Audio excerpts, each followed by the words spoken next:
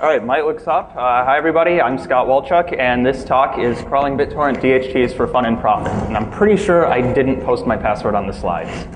All right, so I'll start with the, uh, the bad news. So BitTorrent sites have this tendency to get sued, right? Like earlier, or last year, we had the Pirate Bay 4 lose a court case uh, that they're still appealing. We had Mininova get forced to take all the copyrighted files off of their website. Uh, going back a couple of years, we had Oink get shut down, one of the biggest private BitTorrent sites. Uh, going back even further, we had Suprnova get shut down in 04, and then coming back to the present, we also had uh, IsoHunts having some legal trouble in the US.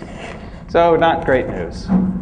Uh, Another piece of bad news that's uh, been publicized recently is the possibility of large-scale BitTorrent surveillance. So there was this paper in LEET earlier this year called Spying the World from Your Laptop by some uh, folks from France.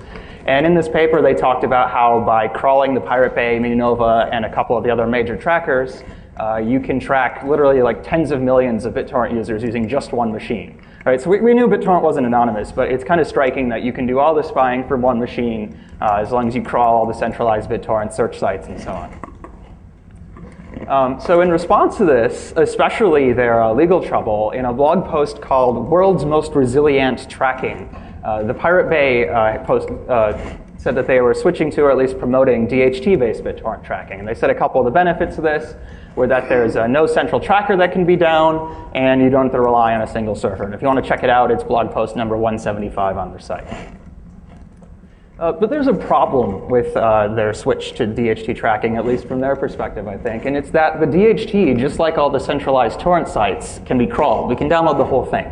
And the fact that the DHT is crawlable means that pirates have both, uh, it's both got both good news and bad news for, for pirates.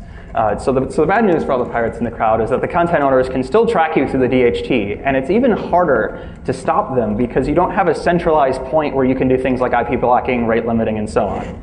Um, the good news for pirates is that even if all the content industries got, got their like really together legally and they managed to sue all the torrent sites into oblivion, overnight you wake up, there's no backups. As long as you found out about it quick enough, you could have a pretty big torrent site back up within a couple of hours. Um, and so the fa- these two uh, facts are going to have some consequences for attacks on BitTorrent that I'm going to revisit toward the end of the talk. All right, so that's the basic idea. Now I'm going to move forward and look at the details for the rest of the talk. All right, so first some background. I, I know a lot of people aren't familiar with this. So what the heck is a BitTorrent DHT? So think back to the last time you downloaded a torrent. You probably went to a website that looks something like this, the Pirate Bay, maybe one of the other BitTorrent search engines. Uh, you typed in whatever you were looking for, and you ended up at a page that looks like this. Uh, you cleverly avoided the really huge download button, which in my opinion is like the world's most misleading ad. It's just an ad, doesn't download your torrent. And you click the download this torrent link at the, uh, right under the huge download button. And your BitTorrent client fired up, and it connected to some people around the world and downloaded your files. And so the question I'm going to talk about is how does your BitTorrent client find those peers? So the old school way of doing this, from the original BitTorrent design, is to use a BitTorrent tracker. And uh, the trackers are a bunch of servers that are listed in the .torrent file. Let's say that's your laptop in the lower left there, 1234 6881. Your tracker or your laptop sends an announce request to the tracker for the info hash of the torrent, which I've represented as uh, hex 1234 AB, etc. And for purposes of this talk, the info hash is just this magic random looking string that uniquely identifies the torrent. Tracker says, okay, I know that 12346881 is downloading this torrent. Great, makes a note of that, and it sends you back a list of other peers that also announce themselves as downloading this torrent. So, and then your BitTorrent client takes that list, connects to them, does the BitTorrent magic, and you get your files. But there's a problem with the centralized uh, method of tracking, and it's that trackers tend to go down. And by go down, I mean mostly that they tend to get sued, right? One of the, if I remember correctly, one of the Pirate Bay's big legal problems was that they were running a tracker, hence the blog post. So what you really want, and this is like a, a canonical distributed systems failure where you have one server that goes down and your system stops working. So what you really want is something more reliable. And what the BitTorrent developers have been pushing forward for the past couple years is uh, tracking with distributed hash tables, which I'll abbreviate for the rest of the talk as DHTs. So what is a DHT? Well, so there's actually years of academic research on this that I'm going to condense into about two minutes. Uh, in short, it's a peer-to-peer network, hence the distributed, that stores key value pairs, hence the hash table. So it's the big hash table in the sky or in the cloud, if you want to use the um, you know, recent term. All right, so how does this work? You have your laptop again, 1234 6881. You can store a value under a key. For example, you might store 1 under the key ONE. And you can look up a value by key. So you might do a get for the key TWO, and if all is right with the world, you get the value 2. All right, so it's just a big distributed system that implements a hash table like a dict or a hash in Perl or Python or your other favorite programming language. Uh, we need a bit more detail for this talk. So it turns out, so this is a peer-to-peer network. So we have to have some way of figuring out which peers are going to store the data. So the way it works is that both peers and items of data get 160-bit, 20-bit or 20-byte IDs. Uh, for purposes of this talk, again, the peer ID is picked magically at random and it's just guaranteed to be probably unique. The data ID is picked by taking the SHA-1 hash of, of the key. Um, so SHA-1 gets you a random-ish number that is probably unique for, for this key. And then what you do is you have the peers resp- uh, store data that has a close ID to theirs, numerically speaking, right? So if I'm peer 10, I might store data items 11, 12, and 9, but probably not data item 200. So how do you do DH tracking? Well, you DHT tracking. Well, you just you throw away the tracker and you replace it with this big distributed system. So again, you have your laptop trying to get peers. First thing you do is look up the info hash of the torrent as a key in the table. Remember, this is what you sent to the tracker before to tell it which torrent you wanted. And what comes back as the value in the DHT is a list of the peers that are also downloading the torrent. And then to make sure you show up when somebody else does this, you do a store for your IP address in port under that same key, the info hash of the torrent. Right, so we do the same thing that we did with the tracker, but we replace this, the, the vulnerable single machine with this distributed system that's much harder to take down. And by the way, the DHT is formed by all the BitTorrent clients that, that have DHT support. So your BitTorrent client just joins this network when you start it up. Okay, so we've got DHT tracking. The other piece of the puzzle that the Pirate Bay added in that blog post is magnet, or magnet links. And so uh, uh, the magnet link looks like this up at the top of the slide there. Um, it starts with magnet colon, and the important part of the magnet link is what I have in bold there. It's an info hash. Remember, this is the, the identifier that you were sending the tracker into the DHT. So when your BitTorrent client sees one of these, it can go directly to the DHT and get a list of peers right away, no .torrent required. Uh, it's not entirely clear to me whether I started using this. It's smaller than using a .torrent file, um, but I think that they thought it improved their legal position. It's not clear to me that it does, but I'm not a lawyer, so what do I know? Okay, so we have DHT tracking and magnet links. Now, the talk's called crawling DHTs, so how would you build a DHT crawler? Uh, what we did was we dug through the Vuze DHT or the Vuze BitTorrent client. Um, it's also called Azureus. You might be more familiar with that name. And we looked through all their, their DHT implementation stuff, and we re-implemented the protocol in C for efficiency. So it was kind of huge piece of Java code. We wanted something a bit faster, so we had to redo it in C. Once we had this efficient DHT client, we used to perform what's called a Sybil attack on the DHT. So A Sybil attack is this generic attack on distributed systems. It's named after a character from a novel or, novel or a play or something uh, with multiple personalities. And what you do is you give your machine multiple personalities in your distributed system. Uh, so, for example, you simulate thousands of clients in whatever system at once. So, for example, we put uh, thousands of DHT clients on this netbook here, let's say. Once we've done that, we've got thousands of randomly spaced, or pretty much randomly spaced IDs in the DHT.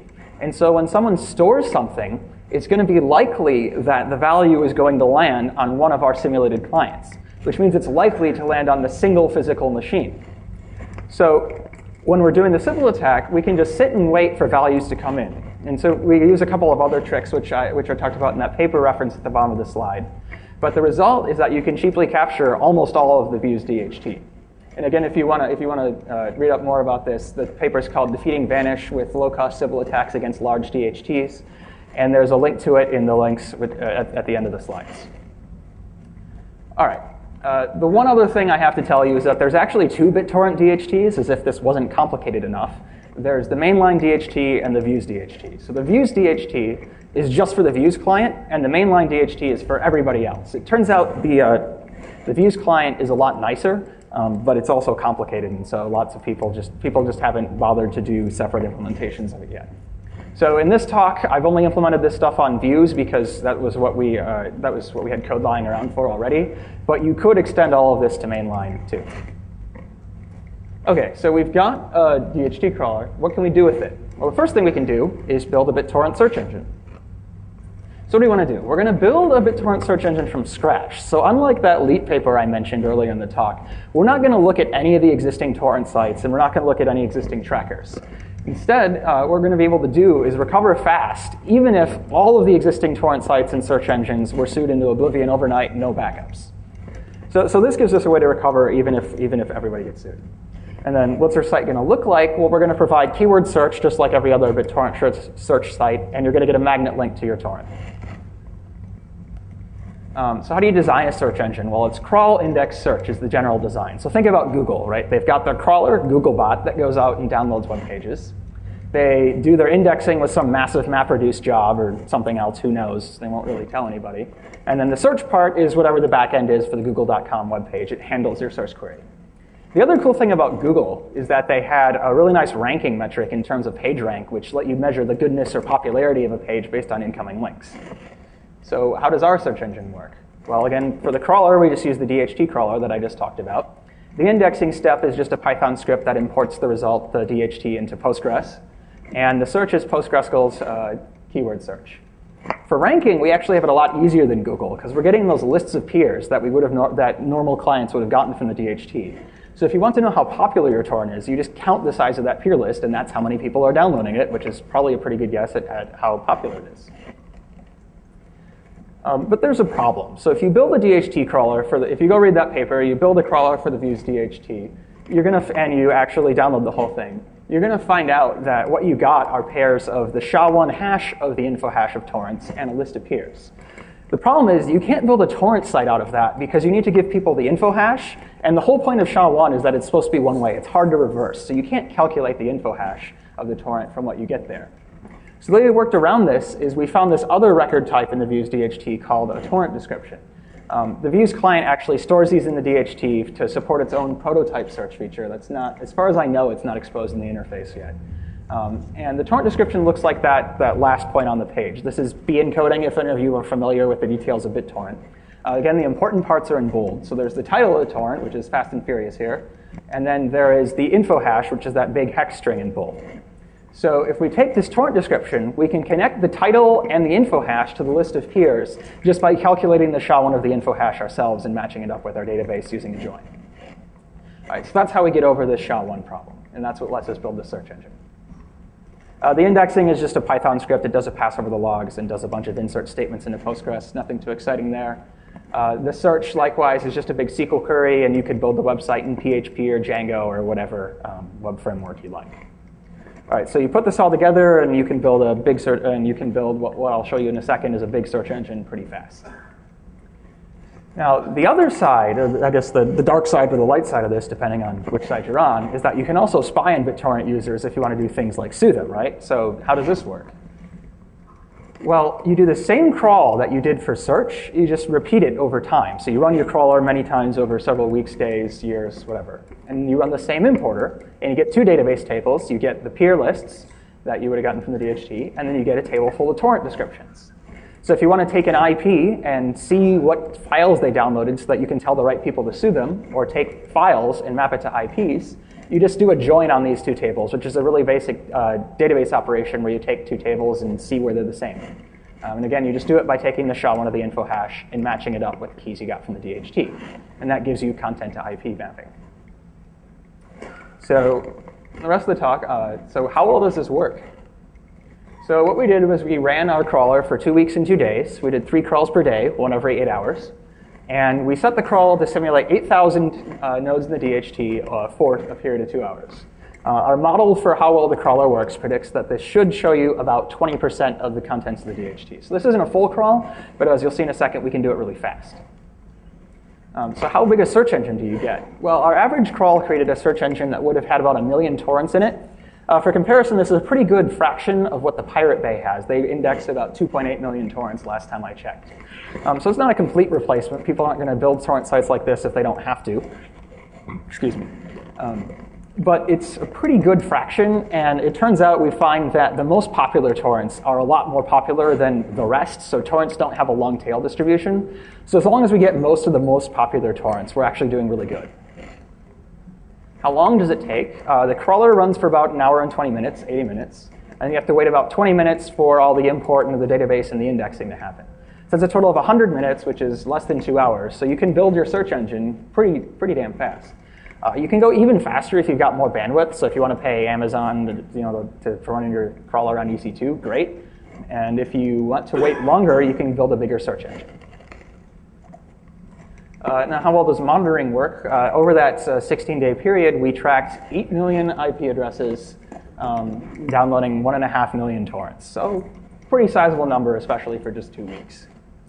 Now, to give you kind of a flavor of the, uh, of the kind of spying we're able to do, uh, we, first we looked up the top seven torrents. Yeah, there's been a ton of studies that did this, but this one is like direct from the DHT. Um, unlike that other study, there was some accusation that their top torrents were fake. I, I did, I t- attempted to verify, and most of these were not fake. So if you look at this list, what you notice is that they're all popular recent TV and movies, and they're probably not legit, right? It's, it doesn't. It seems unlikely that these are legally distributed. It looks like somebody's probably infringing copyright, at least in the U.S., by distributing this. And by the way, that's the uh, second to last episode of Lost, not the last one. Unfortunately, we had to stop like right before the last episode of Lost came out, which would have been really cool, but that's life.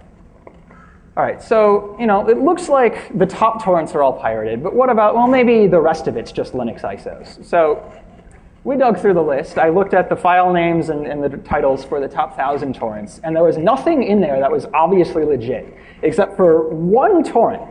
There was one legit thing in the top 1,000, and it was a subscription to a search for porn.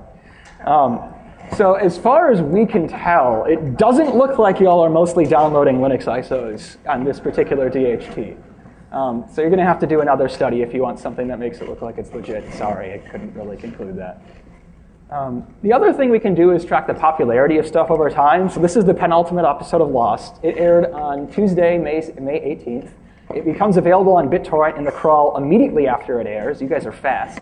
Um, and, but it's not very popular until Friday rolls around. And so you can make two arguments with this. You could try to say that, whoa, people are just using BitTorrent to time shift their viewing of Lost because they missed it on Tuesday. Uh, the other argument you can make, which is probably equally valid, so this doesn't really say either way, is that pirates are lazy and they don't have time to torrent stuff until Friday. Right? So, so this could go either way. Um, looks like I've got a little bit of. Oh. All right, so that gives you kind of a flavor of the monitoring we can do. If I've got time, I'll show you a couple more charts. But uh, let, me, let, me, let me start wrapping it up. All right, so with this DHT crawler, if you crawl the Vuze DHT, you can do two things. You can create big BitTorrent search engines fast, and you can spy on 8 million people in two weeks. Now, what I'm going to start, what, one thing we conclude from that is that there's not really a whole lot of point in all these lawsuits against torrent sites, right? There's not really cut off the head and the body, body will die. It's more like even if you cut off all the heads, we'll just grow new ones in two hours. So, so what's really the point? Um, the flip side of this is that even moving to the DHT is not going to magically turn BitTorrent into some anonymous protocol, right? Even if there was only DHT tracking, it's not going to help people hide because we can spy people using just the DHT. So what we expect to see in the future is uh, DHT poisoning, so, so attacks that make it harder to use the DHT to find peers and harder to do this kind of search engine building. And if you want to continue stopping, um, if you want to continue trying to stop BitTorrent by suing people, the only people really left to sue are the users and the releasers, which I imagine is a big portion of the audience. So look out for lawsuits. Um, so here's a couple links. The top one there is just the basic Vuze page about the DHT. The second one there is really important. It's on the slides uh, in, on the CD. Um, it's got it's going to have updated slides. It's got a link to the paper that goes with this talk, which has more pretty charts, and it's got a client for the Vuze DHT. Um, and then those are the two papers I referenced. The top one there is Spying the World from Your Laptop. Bottom one is uh, our paper, where, which talks about how to build a Vuze DHT crawler. I think I got one minute, so I'll show you one more pretty chart. This is torrent popularity on a log-log scale. Um, so the scale is not linear. The, the little inset there has a linear scale. And just the cool thing about this is that the most popular torrents are really popular, but popularity falls off super fast. So if you catch like the top, I think it was 17% of torrents um, you've got almost all of what's interesting. Right, and I think I'm out of time, so I will take questions in the Q&A room. Thank you.